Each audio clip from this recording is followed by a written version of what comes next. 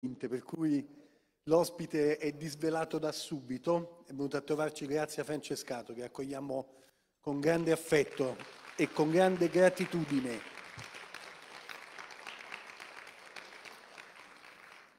Grazia Francescato la conoscete tutti, non ha bisogno di grandi presentazioni, però è interessante nell'intreccio di oggi, mi piace ricordare qualche modo la grazia francescato che, che partecipa, che fonda la prima rivista femminista un bel po' di anni fa e che nello stesso tempo un altro bel po' di anni fa si ritrova a Stoccolma al primo incontro dove si cerca di tenere insieme l'ecologia, la sostenibilità, l'ambiente, l'economia.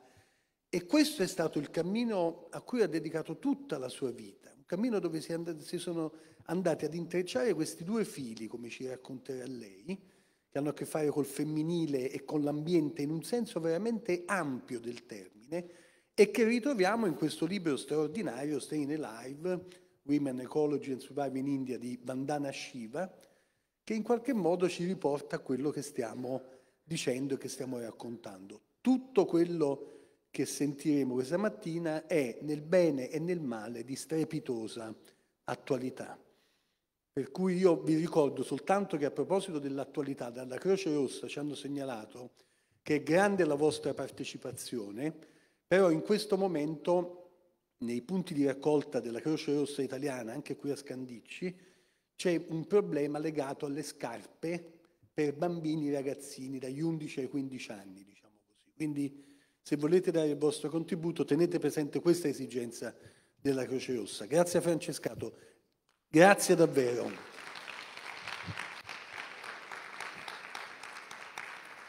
I latini dicevano nome nomen, nel nome c'è il destino, mi chiamo Grazia, ringrazio due volte.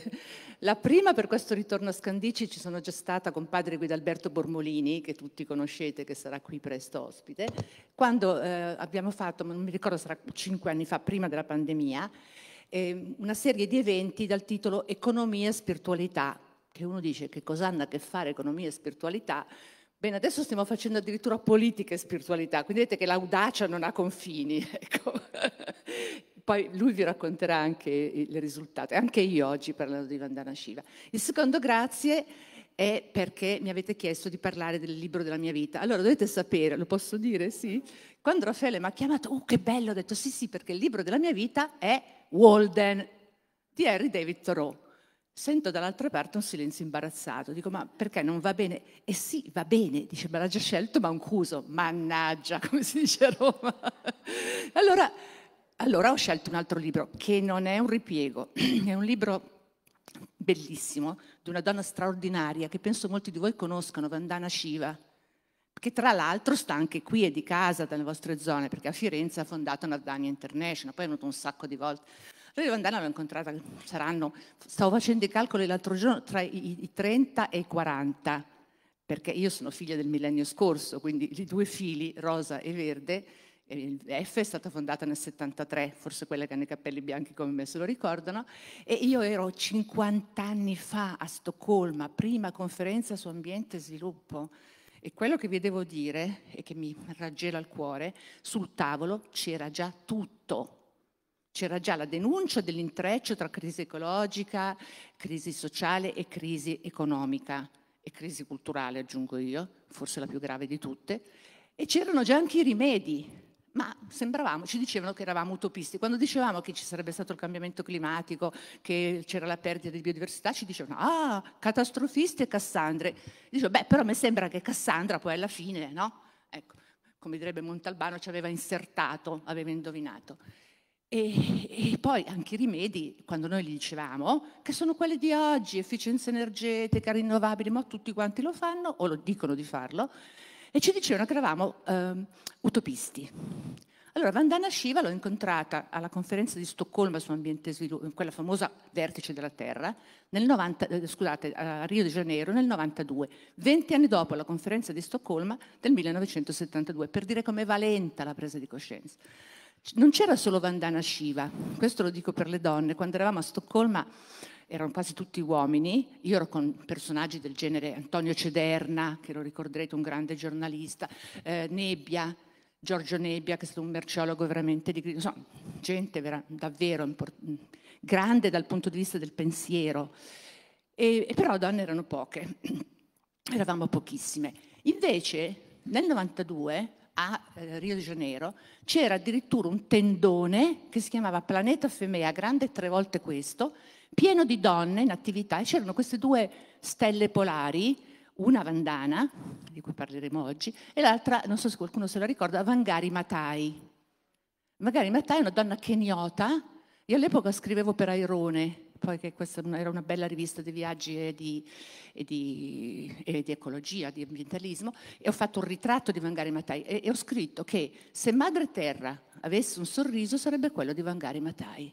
Questo sorriso radioso e anche Vandana e piena di gioia e di vita. Credo che questo sia un elemento molto importante eh, da tenere in conto. Comunque Vangari è stata scelta per parlare alle delegazioni governative a nome di più delle 8.000 NGOs che erano presenti in quel momento, c'erano 20.000 giornalisti, è stato veramente un momento in cui sembrava che si potesse davvero imboccare la strada dello sviluppo sostenibile cosiddetto. Poi sulla sostenibilità che è un mantra torneremo dopo. E invece poi si è continuato più o meno business as usual. E abbiamo perso una grandissima occasione perché adesso, dopo la pandemia e dopo, io spero al più presto che si chiuda questa orribile guerra che ci riporta indietro di 30 anni, che poi non è soltanto la guerra, e che tipo di guerra è? Così barbara, così medievale, le donne che fuggono con i bambini, i mariti, i figli che restano là a combattere, è una cosa che raggela il cuore, soprattutto per quelli come noi che hanno creduto e lavorato tutta la vita per il salto di qualità della coscienza collettiva Ecco, io spero che, che, dopo, quando finalmente potremo metterci a fare non la transizione ecologica, che spesso è finzione ecologica, ma la conversione ecologica come la chiedeva e la voleva Alex Langer, forse anche lui, qualcuno di voi lo conosce, che è stata veramente la persona che ha volato più alto nel mondo dell'ambientalismo, ecco allora potremo capire in quel momento quanto la lezione di persone come Mandana Shiva è preziosa. Allora, per chi non la conosce è rapidissima, nasce nel 1952 eh, a Dehradun, vicino, insomma alle pendici dell'Himalaya, in una famiglia progressista. Pensate, nell'India di allora credevano nella parità di genere, facevano la lotta contro il sistema delle caste, erano insomma discepoli di Gandhi. Quindi non ci stupisce che a un certo punto la madre, che era maestra, eh, va a vivere in campagna in una farm, in una fattoria. Quindi la bambina Vandana entra in contatto con la foresta, con la natura, infatti c'è un intero capitolo nel libro dedicato a cosa significa la foresta il legame tra donna e foresta, e decide di, di fare la scienziata. Va a laurearsi in fisica quantistica all'epoca, in Canada, pensate un po', una donna, torna e, e fa, è giovanissima, una, fa una fondazione, crea una fondazione nella sua città dedicata alla scienza, alla tecnologia, all'ambiente, eccetera. A un certo punto succede, sapete quelle cose che cambiano la vita? Incontra il movimento Cipco. Alzi la mano chi di voi l'ha sentito nominare? Allora, Cipco in sanscrito significa abbracciare. Perché nel 1730 una donna che si chiamava Amrita Devi, eh, che stava in una comunità alle pendici dell'Himalaya, insieme ai suoi, ai suoi, amici, ai suoi compagni, ai suoi concittadini, chiamateli come volete, eh, aveva deciso di abbracciare gli alberi per salvarli dall'abbattimento voluto dai soldati del regia locale, 1730, Amrita Devi. Viene ripresa questa stupenda iniziativa di abbracciare gli alberi da, queste, da contadini, soprattutto donne e bambini, di quest'altra comunità che era sempre vicina a quella di Amrita Devi e questa volta i nemici non sono più i soldati, sono quelli che vanno a prendere il legname, quelli che, come dice lei e come sempre ho detto anch'io, considerano la natura non la madre sacra da rispettare, ma un supermercato dove andare a prendere quello che ci serve, che è esattamente, esattamente la mentalità odierna, no?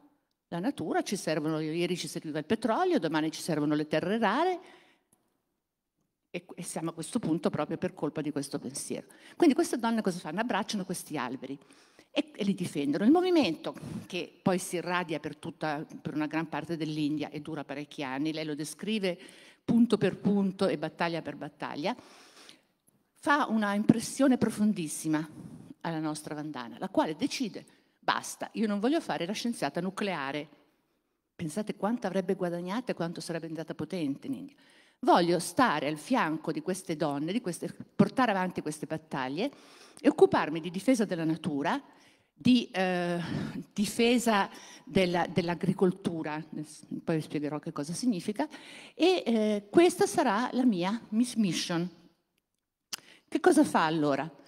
Nel 1900, questo nel 1982 ha fatto questa fondazione e nel 1988 scrive questo libro che è stato tradotto, adesso ve lo faccio vedere, Sopravvivere allo sviluppo, che non è un bel titolo, perché il titolo vero, quello originale, è molto più efficace e dice Staying Alive, rimanere vivi.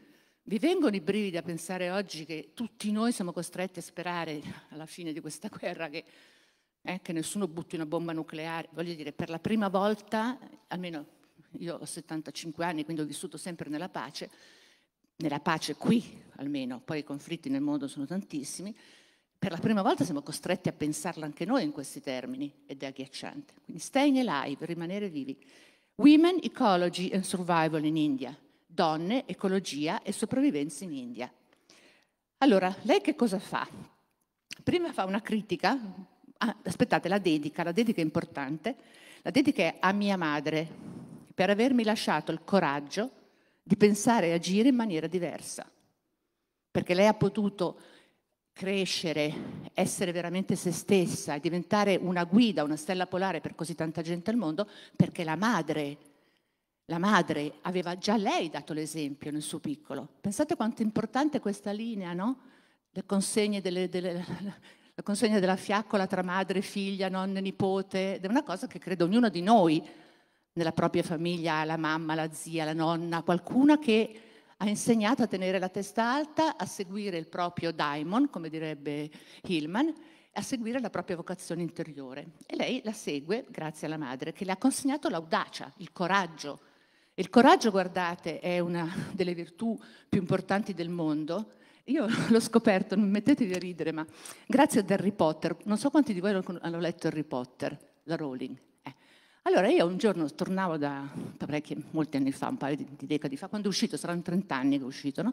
Tornavo dagli Stati Uniti e vicino a me in aereo c'era un bambino che aveva avuto 8-9 anni, il quale era immerso in questa lettura di questo librone e non ha mai smesso, ha letto per 6-7, ho detto ma come mai i bambini in genere, insomma, non è facilissimo farli leggere?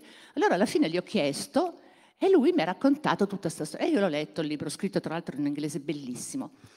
E ho capito che il genio della Rowling è stato non negare l'esistenza del male, perché noi ai nostri bambini cerchiamo di non dirglielo, e che a una certa età è anche giusto, diciamocelo, quindi di fargli pensare, insomma, di fargli vivere in un mondo, se non proprio da favola, almeno bello, buono. Lei invece il male lo butta davanti a questi bambini, però gli insegna anche come affrontarlo, non da soli, non da soli, ma con altri i tre bambini sono esemplari da questo punto di vista. Harry Potter ha il coraggio, coraggio a volte incredibile. La bambina Ermione, ed è bello che sia una bambina, è la conoscenza, è la saputella, no? quello che sa tutto, quello che studia, che è fondamentale, il coraggio unito al sapere. E il bambino, quell'altro come si chiama Ron, mi pare, è la bontà. Lui è un po' un salamone, quello che chiamiamo un bambino non, che magari non ci arriva, però questa bontà unita al coraggio e unita all'intelligenza, fa fronte e argina al male. È una lezione incredibile, importantissima per i bambini e fatta in maniera non noiosa perché tu, ai bambini devi raccontare le storie, ma anche agli adulti, perché è attraverso le storie che si impara, che si impara a vivere. Allora, nel caso di Vandana, la cosa che mi ha colpito di più, io l'ho intervistata 30 anni fa, è il fatto che lei ha condotto una vita glocal, assolutamente a livello planetario, lei ha vinto una caterva di premi a cominciare dal 1993 che ha vinto il Right Livelihood Award, è stata definita da Times come una, mi pare nel 2003-2005, come una degli eroi dell'ambiente, ha collezionato infiniti riconoscimenti, è stata ed è all'interno di moltissime organizzazioni in posizione di leader, anche solo food per dire qui in Italia. Io l'ho incontrata poi in tantissimi appuntamenti internazionali di cui non vi faccio l'elenco, se no sarei qui fino a domani mattina, e lei ha scritto un sacco di libri, non so se qualcuno di voi li ha letti, aspetta mi siedo per leggerli perché l'elenco va fatto, così capite che a chi abbiamo davanti, se trovo, eccolo qua. E, ehm, dunque lei ne ha scritti tantissimi, io ho tirato fuori, vabbè, questo qui è del 1988, Sopravvivere al malsviluppo, ha scritto Monoculture della mente nel 95, la biopirateria contro gli OGM, saccheggio delle, della natura e dei saperi indigeni, su cui torneremo, anche questo nel 95, le guerre dell'acqua, è stata la prima a denunciare i conflitti e le guerre per il possesso dell'acqua, che è l'oro blu, molto più importante del petrolio, delle, delle terre rare, di tutte questi, questi, queste materie prime su cui ci sono i conflitti. Dalla parte degli ultimi, Una vita per i diritti dei contadini, 2008, perché lei ha sempre messo assieme la difesa della natura e la difesa dei diritti. Non ci può essere una, un gap tra, questi, tra queste due battaglie. E anche la battaglia contro il cambiamento climatico la giustizia climatica va, pari, va, di pari passo con la giustizia sociale e con la difesa dei diritti, non si possono separare, è una battaglia sola. Ecco l'importanza dello sguardo olistico. Poi ha scritto campi di battaglia nel, 2005, nel 2009, 2005, perché sono veramente campi di battaglia quelli agricoli. Non so quanti di voi sanno, poi ne parleremo di nuovo quando eh, accenerò a Nardania, che i nostri semi, i semi da cui dipende la nostra vita, i nostri cibi sono in mano più o meno a 5-6 multinazionali una volta i nostri nonni, siamo tutti figli di contadini, io sono nipote di contadini, no, mettevano da parte i semini. Eh, e, e, purtroppo questi brevetti delle multinazionali contro cui abbiamo fatto enormi battaglie, anch'io ho affiancato Vandana in questa battaglia contro l'OGM, significano proprio espropriare i contadini, gli agricoltori del mondo di questo che è il loro tesoro e quindi renderli anche incapaci di garantirsi la sopravvivenza. Poi ha scritto L'ultimo, vi dico l'ultimo che è molto bello, dall'avidità alla cura, adesso ci arriva il concetto di cura, la rivoluzione necessaria per un'economia sostenibile. Io dico davvero sostenibile, perché oggi sostenibilità è un mantra. Tutti sono green e tutti sono sostenibili, a parole. Peccato poi che non ci sia la coerenza. E qui arrivo al secondo aspetto della vita di Vandana. Abbiamo detto che lei è glocal. Eh? E l'altra cosa importantissima della vita di Vandana è la coerenza tra pensiero e azione. Noi siamo abituati a politici e intellettuali che predicano e ne fanno un'altra, no? Invece Vandana è, lei ha questo pensiero nitido, lucido, consapevole e caldo, su questo ci arriverò, e, e Vandana è assolutamente coerente. Lei crede nella circolarità tra pensiero e azione. Allora, difende i semi e fa una, fa una fondazione come Navdania, Navdania vuol dire nove semi, che sono i nove semi diciamo, tipici delle culture indiane, la fa e hanno praticamente allenato, addestrato a difendersi più di 500.000 contadini in giro per il mondo. Uh, hanno fatto 65 banche dei semi, quindi predica e fa l'azione e il pensiero circolare. L'altra cosa, quindi abbiamo detto glocal, abbiamo detto eh, tra, coerenza tra pensiero e azione, è quella che io chiamo intelligenza calda. Allora, se voi mi faceste una domanda, cara Grazia, dopo 50 anni di ambientalismo, quale pensi che sia l'ecosistema più a rischio? La foresta amazzonica? Adesso poi con Bolsonaro no? distrutta ritmi forsennati, con anche i popoli indigeni che si devono di nuovo difendere, che Bolsonaro vuole, vuole, fare, vuole togliergli il diritto a perimetrare le terre e così via, vi direi sì, ma mi, dice, mi, potete dire, ah, le barriere coralline, che sono al 95% sbiancate dal cambiamento climatico. Sì, ma sapete per me qual è l'ecosistema più a rischio? E lo dico da almeno vent'anni. È questo, è la mente umana. Perché aveva ragione Conrad Lorenz, ve lo ricordate Conrad Lorenz? E questo scienziato no, che studiava, etologo, che studiava il comportamento degli animali. Lui in un libro bellissimo che si chiama Il declino dell'uomo, scritto più o meno anche, proprio anche nell'88, diceva più veloce del degrado della natura corre il degrado dell'essere umano. Adesso voi oggi aprite la televisione e ditemi se non aveva ragione. Aveva purtroppo ragione. Quindi l'ecosistema più a rischio è questo, ma Soprattutto questo, il collegamento mente-cuore, mente-cuore, perché non serve a niente essere, si serve, ma insomma, fredda, l'intelligenza fredda che mi dà i dati, le statistiche, ma non arriva qua. Allora, oggi, in questo inquietante ma stimolante inizio di terzo millennio, noi abbiamo bisogno di intelligenze calde, capaci di mettere assieme cuore, cervello, ragione e sentimenti. E Vandana è così. Quindi glocal, coerente e intelligenza calda. Avete detto niente, una forza della natura. Fantastica. Allora adesso, però siccome devo parlare del libro, vi leggerò alcuni passaggi perché lei è, è, è talmente brava. Io mi ricordo una volta, io sono, tra le altre cose, eh, dentro l'Aspen Institute, Can Think Tank Be Partisan, in cui mi ha introdotto Giuliana Mata all'epoca in cui ero presidente dei Verdi, quindi ero dentro l'Ulivo. Ero un'unica donna, ragazze, per carità, tutti maschi eccellenti, D'Alema, Brutelli, perché... però insomma, come dire, era dura, eh? Va bene. E, e, adesso c'è il presidente Tremonti, sono bipartisan, quindi oh, eh, posso trovare alloggio pure io, mi invitano sempre. E, e, comunque una volta gli ho fatto un po' uno scherzetto, loro mi chiedevano chi potevo portare a parlare, insomma io porto Vandana Shiva senza, ben, senza, spiegare bene che tipo era, no? Faccio il mio, una scheda, ah, brava. Questa viene, ragazzi, li ha stesi. Io, seduto in prima fila, sogghignavo, devo dire la verità, per dire che lei è in grado, in qualu- io l'ho vista in tutte so, le conferenze ONU, la Banca Mondiale, una capacità di tenere testa agli esperti, quasi sempre maschi, con non solo appunto questa infinita quantità di dati, ricerche e quindi tutta la parte dell'intelligenza, non a caso lei ha fatto la scienziata nucleare, quindi scientific based, ma con questa passione, questa forza del cuore che alla fine ha, sua, ha un suo potere, una sua potenza, perché potere è una parola che è meglio non usare adesso. Quindi eh, lei in questo libro getta i semi di tutto. Io me lo sono riletto bene per venire qui e vi voglio adesso leggere qualche passaggio. Lei già allora aveva, chiarissimo, aveva chiarissimi i tasselli del mosaico e aveva chiarissimo il mosaico, cosa non facile, perché noi ci perdiamo spesso tra i tasselli. E quello che manca oggi è una visione d'insieme, una visione olistica.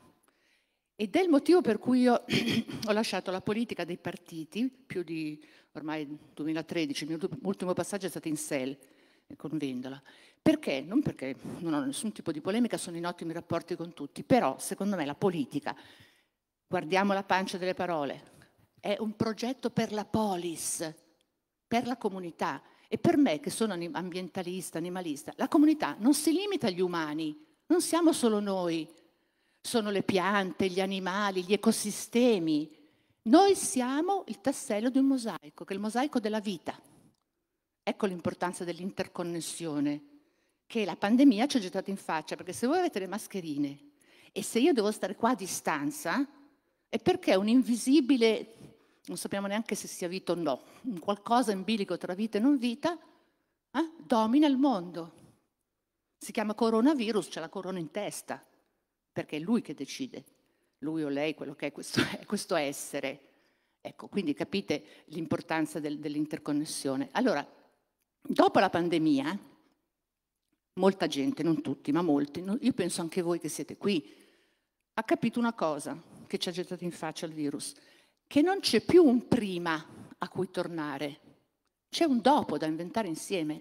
E questo dopo, secondo me, però mi ha fatto piacere rileggere il libro perché lei dice le stesse cose, ha tre stelle polari che ci indicano la rotta e che ci dicono quale percorso seguire, un percorso tutto in salita, incredibilmente accidentato, ma non è vero che un bagno di sangue, come dice uno che non, che non cito, che è un transumanista che siede al mite. Allora, quali sono le tre stelle polari? La prima stella è la cura. Pensate che adesso Vandana, uno dei suoi ultimi impegni, eh, mi pare a gennaio, sì era gennaio, a Oxford, è stato proprio sul cibo, sempre sul farming, il significato della battaglia per il cibo oggi, e lei eh, mi pare che proprio il titolo del suo intervento mettesse al centro il concetto di cura. Allora la cura, dovete sapere che nel Pantheon dei Latini era una dea minore, una di scarsa importanza. Il suo compito qual era? La manutenzione, ragazze, cioè quello che facciamo a casa in famiglia tutti i giorni, spesso aiutate, grazie al cielo, adesso anche dai maschi progressisti. Cioè, lei doveva mantenere la forma della vita, di tutto ciò che ci circonda. E non era considerata, insomma, Giove, Venere, queste qua erano strafiche. Lei, insomma, poveretta, la cura, un'ancella. Ma senza di lei tutto sarebbe morto. Allora, il concetto di cura ha in sé due ingredienti fondamentali. Uno, la presa di responsabilità. Io, grazie a tu Maria Giovanna, tu Raffaele, mi prendo cura di il basilico sul balcone, il gatto di casa, la mia famiglia, il territorio, il pianeta, ma lo faccio mettendoci il fuoco dell'empatia, della passione, dell'affetto, dell'amore. Ecco l'intelligenza calda. Mi prendo cura di. E questo concetto di cura, guardate, quando questa guerra finirà, speriamo presto, dovrà essere per forza centrale, perché già la pandemia ce l'aveva fatto capire che se non ci prendiamo cura del pianeta di madre terra, madre terra come tutte le madri è molto indulgente, poi alla fine si stancherà e ci sfratterà, perché cominciamo a essere una specie estremamente dannosa.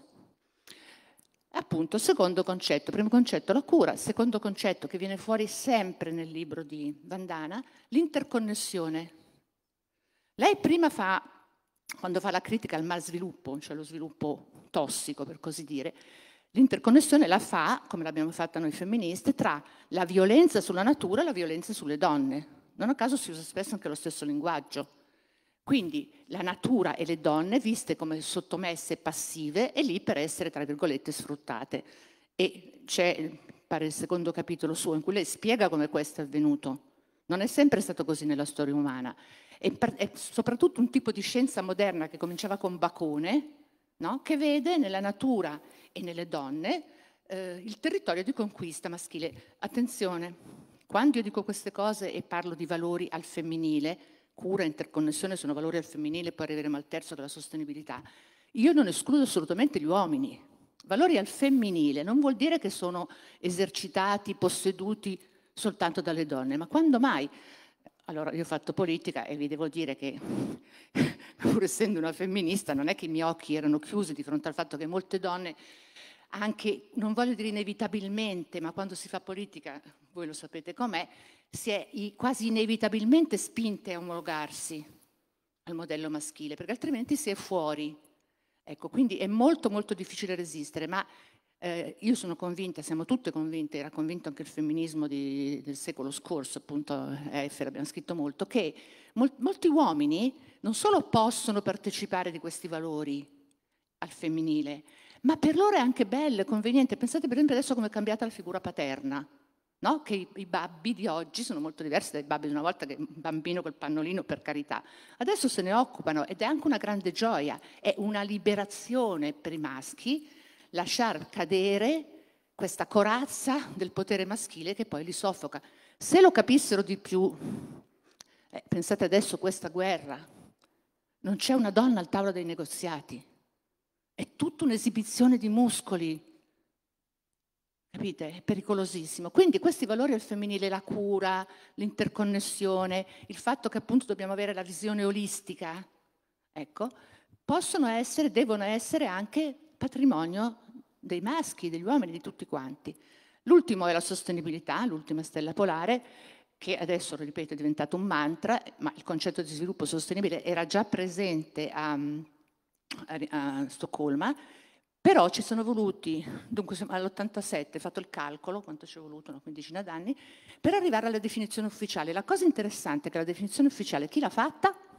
Una donna che si chiama, norvegese, che si chiamava Gro Harlem Brundtland. Lei l'hanno messa a capo di una commissione ONU che ha scritto un rapporto Our Common Future, il nostro eh, futuro comune, e lei ha pensato a lungo, a me me l'ha raccontato, dice perché non era facile definire come doveva essere questa sostenibilità. E poi mi è venuta in mente una cosa, che secondo me poteva venire in mente solo una donna, i nostri figli, i nostri nipoti, le generazioni che verranno. E allora ho pensato che la definizione doveva essere, adesso ve la dico a memoria, qualcosa del genere, ehm, un tipo di sviluppo che ci permette, permette alla generazione attuale di soddisfare i propri bisogni senza mettere a rischio eh, le generazioni future, cioè, dando lo stesso diritto alle generazioni future. È bellissimo perché è una forma di solidarietà intergenerazionale a cui siamo chiamati oggi più che mai, che già nell'87 questa donna ha dovuto anche un po' combattere perché altri volevano fare più un discorso sulle risorse oppure... E poi alla fine hanno capito che era importante mettere questo. E poi siamo passati, ve l'ho già detto, al 92, 1992, quando sembrava che finalmente il mondo veramente scegliesse la strada dello sviluppo sostenibile, perché lì a Rio de Janeiro sono state siglate due convenzioni chiave, quella sulla biodiversità e quella sul clima, che poi ha dato inizio alla lunga sequela delle COP, iniziata nel 95 a Berlino, che ha portato nel 2015, faccio un volo d'aquila perché il tempo stringe, ai famosi accordi di Parigi, in un anno chiave.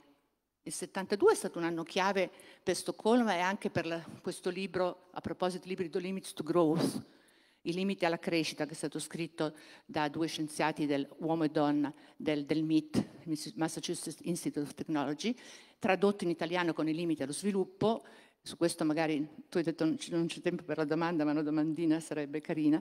Comunque, insomma, sembrava all'epoca che potessimo eh, cominciare e invece siamo arrivati al 2015, quindi vi rendete conto dell'enorme ritardo di cui nessuno sta chiedendo scusa. È una cosa incredibile, nessuno neanche lo sa, che è questo ritardo che ci fregherà nella battaglia al cambiamento climatico. Adesso abbiamo soltanto 7-8 anni di fronte e fare la transizione, cosiddetta transizione ecologica, in 7-8 anni non sarà facile, per cui questa famosa sostenibilità rischia di diventare un mantra. Torniamo adesso al discorso che facevo sulla politica. Allora, questa visione olistica che gli scienziati, gli ambientalisti hanno costantemente messo davanti agli occhi della classe politica mondiale, davanti all'opinione pubblica mondiale, non è andata avanti perché la politica come visione, come progetto per la polis, hm, si è svilita. Perché la politica dovrebbe essere visione del mondo, da cui discende una strategia e poi anche un po' di tattica, con chi faccio gli accordi, con chi mi alleo. Invece c'è stato, e l'ho vissuto in prima persona, un ribaltamento delle priorità, solo tattica.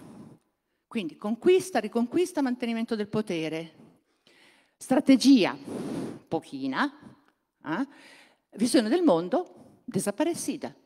e torno al 2015 perché che ci piaccia o no, non si tratta di essere credenti o meno, che ci piacciono, l'unico che ha proposto una visione del mondo nelle sue due encicliche, Laudato Si e Fratelli Tutti, è Papa Francesco. Può piacere o non piacere, ma penso che molti di voi abbiano letto la Laudato Si, è indubbio che nella Laudato Si, nel concetto di ecologia integrale, ci sia una visione del mondo come, come dovrebbe essere, se vogliamo, e torniamo al titolo, sopravvivere.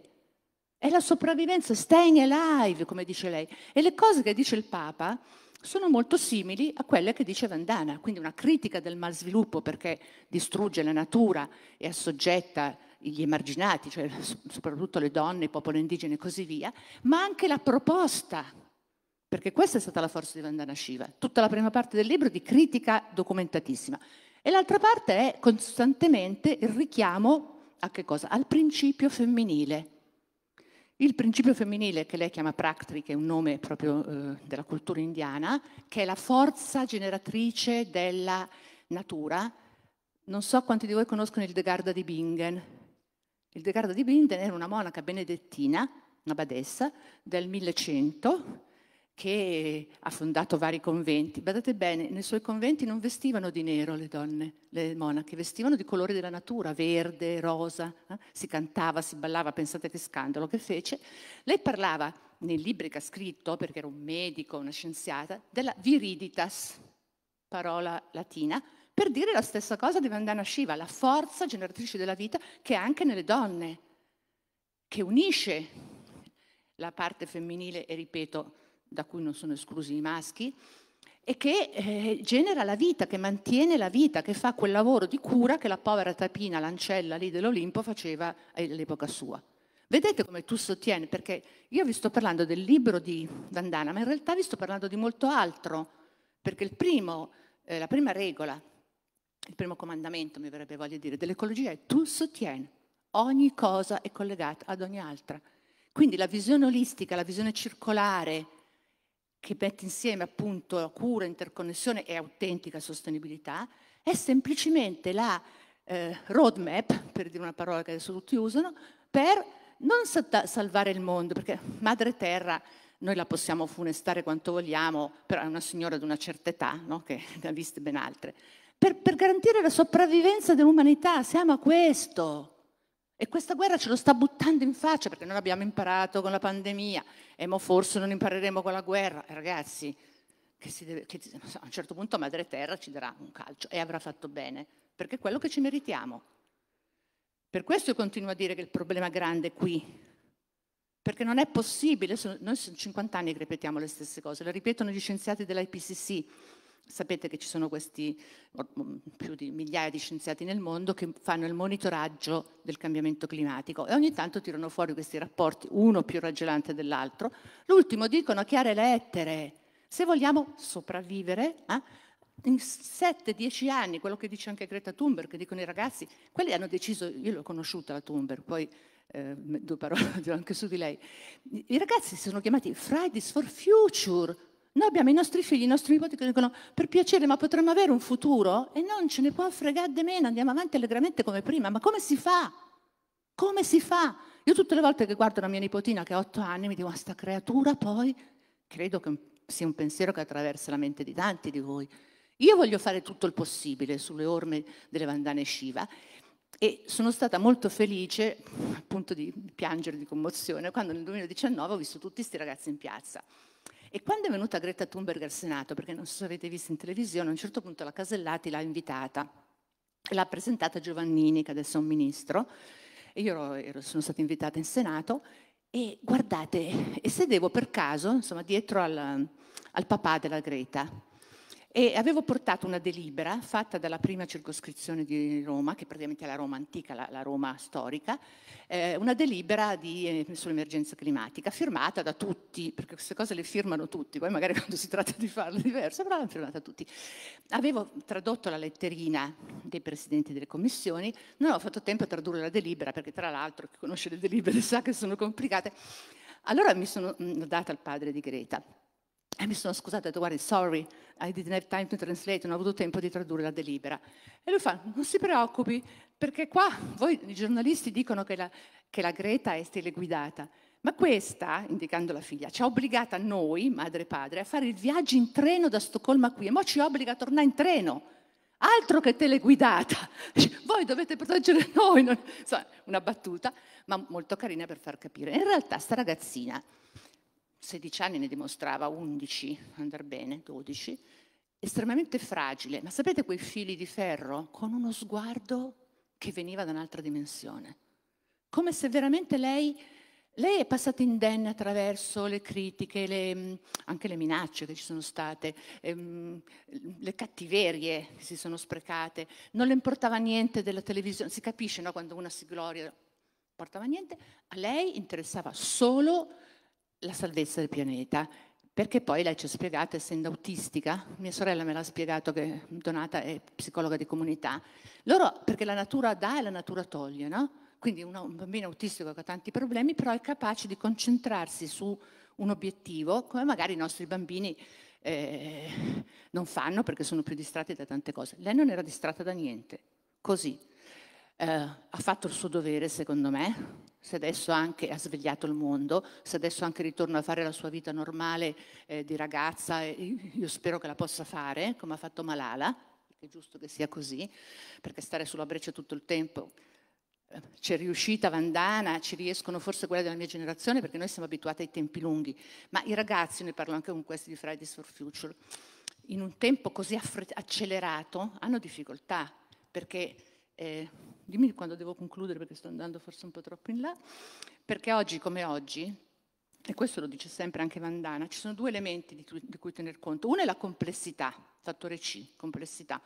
Ogni cosa è collegata a ogni altra, come dice lei, come diciamo anche noi ambientalisti, e quindi tu non ti puoi sottrarre alla sfida della complessità. Ma siccome problemi complessi richiedono risposte complesse, questo richiede tempo, il fattore più importante oggi è il fattore T, il fattore tempo. Naturalmente Vandana ne parla molto di meno perché? Perché nell'88 c'era ancora la sensazione che davanti, insomma, una bella cinquantina d'anni c'erano. E, infatti ci sono stati 50 anni buttati al vento. Io ho lasciato eh, la politica dei partiti perché era perfettamente inutile. Tanto destra e sinistra, con tutto il rispetto, non gliene poteva fregare meno a nessuno. E siccome noi avevamo pochi voti, Le, stesse cose che adesso dicono tutti, le dicevamo allora, ma non, non erano ritenute interessanti, tranne da qualcuno. Va bene, è inutile recriminare perché? Perché io ci ho pensato a lungo, perché chiaramente dopo un po' ti vengono i nervi, dici ma cavolo, ma cosa, come dice la mia nipotina, ma zia, ma so decoccio? E dico sì, so decoccio a Roma vuol dire, non so come dite qua voi, insomma, così più o meno. Comunque, so decoccio, dico sì, so decoccio. Ma comunque eh, io mi sono resa conto di una cosa, che come per Vandana Shiva, ne abbiamo anche parlato, essere un forerunner, come diceva lei, cioè una che precede i tempi, è, è scomodo, perché per anni e anni e anni, forse decenni, gli altri ti considerano così eccentrica, se va bene. Eh? Però, lei diceva, ed è verissimo, eh, eresia, sei un'eretica quindi, però eresia che cosa vuol dire? Vuol dire scelta, una scelta che va controcorrente. Quindi l'eresia ha la tendenza a diventare ortodossia. E infatti adesso sta diventando, o stanno fingendo che stia diventando, ortodossia. Cioè voi accendete il televisore, andate su, sui computer, ogni due per tre c'è qualcuno sostenibile, green, no? che vi dice che tutto va bene, meraviglioso, sono tutti ottimisti, beati loro capito? E viviamo un po' in un mondo di finzione. Anche questa guerra, se ci pensate, è una guerra molto, è una guerra fatta con le armi, i tanks e tutte queste cose terribili, però è fatta anche con le parole, con la finzione. Non sappiamo più dov'è la finzione e dov'è la verità. Eh, io personalmente, ve lo consiglio anche a voi, mi risollevo con i libri, perché a parte il libro di Vandana Shiva sto rileggendo molti classici. E qualche giorno fa mi stavo rileggendo le metamorfosi di Ovidio che avevo studiato a scuola, Dupalle, e poi invece le rileggo e mamma mia, che roba. A un certo punto c'è una descrizione della casa della fama. Questa casa della fama è un edificio eh, tra il mare e la terra, senza porte, senza finestre, da cui entrano tutti gli spifferi, tutte le voci. E queste voci, il gossip come diremmo noi, vengono dilatate, vengono enfiate e quindi si spargono per il mondo a velocità incredibile e costituiscono quello che volta, quello che adesso noi chiameremo fake news. Cioè era una fabbrica di fake news ante litteram, quindi tu cominci a dire l'umanità e poi c'è un altro bellissimo, eh, ve lo consegno per la meditazione, un altro bellissimo verso che secondo me condensa la tragedia umana benissimo, la tragica storia dell'umanità, che dice in latino, video migliora proboque, deteriora secur, che vuol dire vedo le cose buone, migliori e le approvo, ma seguo quelle deteriori. Ci riconosciamo tutti in questa frase. E questa è la tragedia. Allora, e, e qui concludo perché poi vorrei, se volete, non so, qualche, non è prevista, eh, magari così, perché a me piace il dialogo, quindi però mi hanno detto non sono previste le domande, però se qualcuno di voi ce n'è una.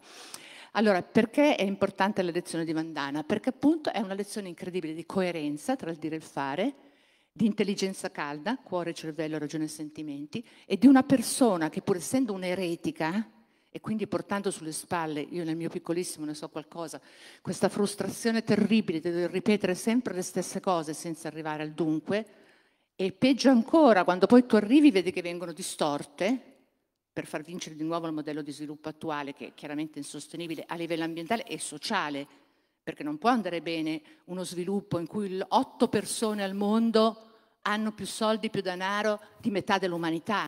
Cose da pazzi.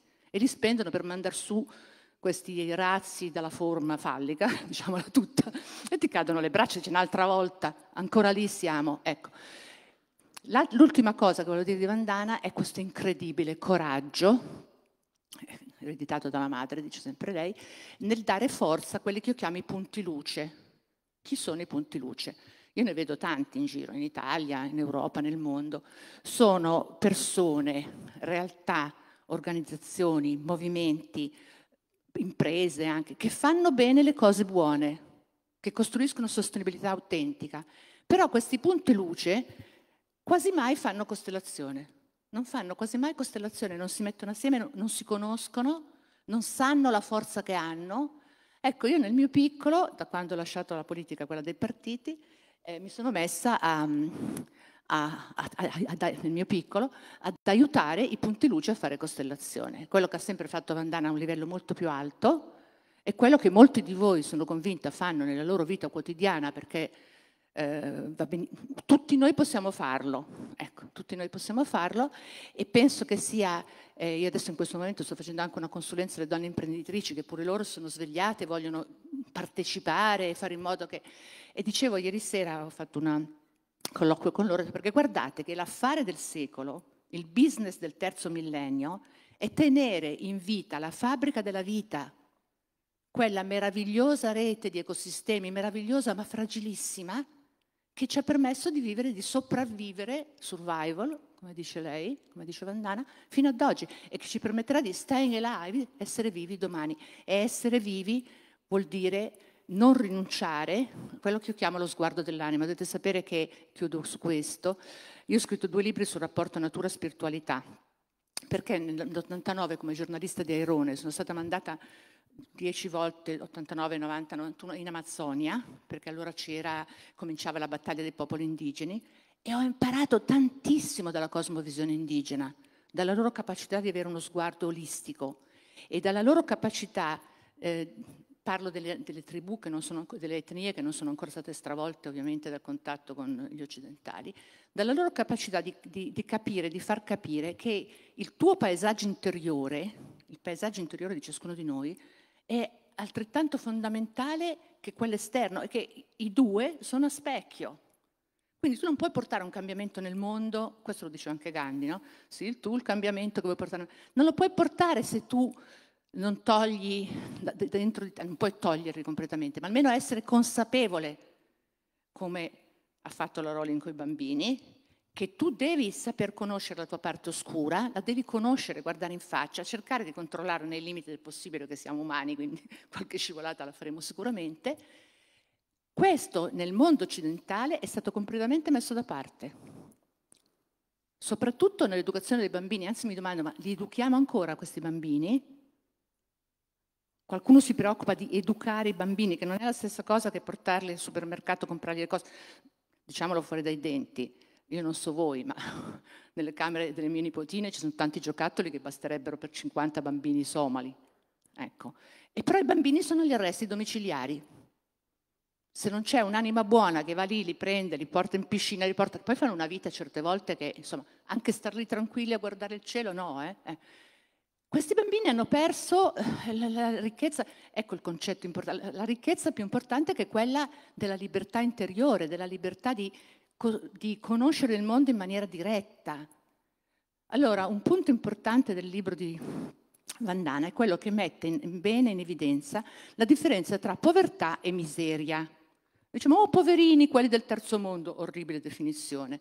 Io ci sono stata con i poverini del terzo mondo, ho dormito in una maca nella foresta amazzonica, tanto là, scusate, fa caldo, ci avevano tre magliette, era più che sufficiente, e poi loro sapevano come procurarsi il cibo, senza però distruggere la natura. E, e vivevano una vita del tutto dignitosa e non misera. Cioè, ah, ma non hanno le case come l'abbiamo noi, ah, ma non hanno il bagno con uh, questo, quell'altro, ah, ma non hanno... Ma, ma noi adesso le abbiamo, in gran parte abbiamo distrutto la loro, la loro, la loro civiltà e la loro, la loro cultura ma quelli che resistono, io grazie al cielo ne ho incontrati parecchi, parecchi punti luce, hanno una cultura, una cosmovisione di serie A e sono quelli che possono continuare a vivere nella foresta, se Bolsonaro glielo permette, senza distruggerla, procurandosi tutto ciò di cui c'è bisogno e soprattutto vivono con un senso di comunità che noi abbiamo assolutamente perso. Noi siamo ormai frammenti, soli davanti al nostro schermo. Io a parlare, andavo a parlare nelle scuole prima della pandemia e mi, veramente mi trafigge l'anima quando vedo questi ragazzini tutti lì, ognuno sul proprio... Eh, è, è, difficilissimo distoglierli, lo so, ed è comunque probabilmente ogni generazione ha il suo destino. No? Però, insomma, eh, questi bambini che io vedevo lì, i bambini tra virgolette poveri, mi sembravano molto più allegri, molto più lieti, molto più capaci di divertirsi con niente dei nostri ragazzini superviziati. Questo è il punto. Allora, questa capacità di avere quello che io chiamo lo sguardo dell'anima, cioè lo sguardo che va oltre le divisioni eh, di sesso, di colore, di tutto questo che grazie al cielo è abbastanza diffuso ormai nella nostra civiltà, è lo sguardo che poi può creare le costellazioni. Naturalmente non ci si deve limitare allo sguardo, e ci insegna Vandana, quello è uno sguardo che dà i frutti come la natura, perché le donne, come dice lei, se non si omologano al modello maschile, sono quelle capaci di produrre vita, così come fa la natura in maniera gratuita. E tant'è vero che il lavoro domestico mi risulta che non sia pagato, neanche quello di tirare sui figli. Però se poi devi chiamare la babysitter, quella la devi pagare perché è un lavoro. Non so se state vedendo l'idea. Allora, comunque, la natura lav- lavora con grande generosità, le donne anche, ci va anche bene, però ecco, noi vogliamo restare vive e vogliamo restare vivi. E son, ci sono sicuramente anche tanti maschi, che io ne conosco tantissimi, capaci di questo sguardo dell'anima, capaci di pensiero critico, che eh, vogliono appunto vivere la vita nella sua complessità, nella sua bellezza, così come la descrive e come continuamente la difende Vandana Shiva. Io spero che eh, chi non l'ha ancora incontrata abbia presto la gioia di incontrarla e chiudo qui ringraziando ancora, come ho fatto all'inizio, anche per la pazienza e il fatto che siete venuti, che con una giornata così uno aveva voglia di andare al mare a farsi una bella passeggiata. Spero che potrete farla adesso, noi, quando noi chiudiamo. Grazie.